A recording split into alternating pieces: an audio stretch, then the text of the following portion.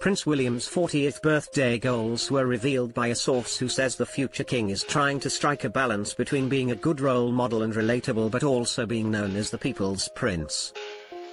Royally US presenters Christine Ross and Christina Garibaldi discussed Prince William's looming birthday and what celebrations might be had for the Duke of Cambridge.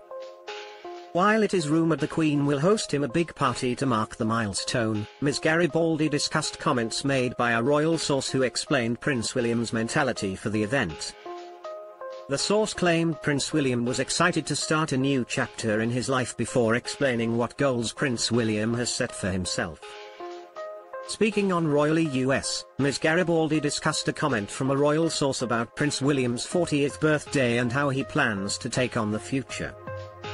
The royal journalist said, getting some reporting on how Prince William feels about turning the big 40 in a couple of months. A source tells US Weekly that William is excited about this new chapter in his life and the challenges he'll be facing. He has high ambitions of creating the perfect balance between being a respected role model and decision maker and relatable to the public. He wants to be the people's prince. I'm sure he feels probably fine turning 40, he's got a lot of stuff to look forward to. Ms. Ross agreed and believed the Duke of Cambridge has carved out his own identity and path over the past few years. She added, definitely, and I think he has really come into his role in the last several years where he's really found his footing.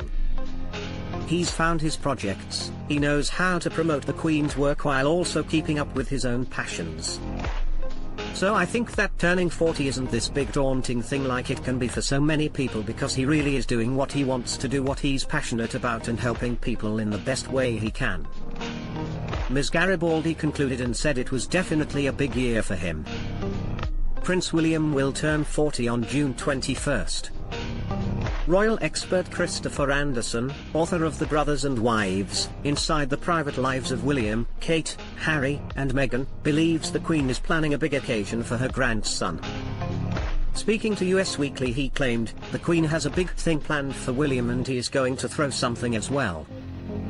There will be big parties again, if Covid allows anything like that to happen. The Queen is celebrating her Platinum Jubilee this year with events taking place throughout the year but many will be centered around the weekend of June 2nd. Royal events have been put to one side in recent times due to the pandemic with the royals set to host lavish occasions to make up for lost time. The Duchess of Cambridge celebrated her 40th birthday last month and three stunning new pictures were shared to mark the occasion. Royal fans are hoping of more of the same when Prince William marks his birthday in a few months.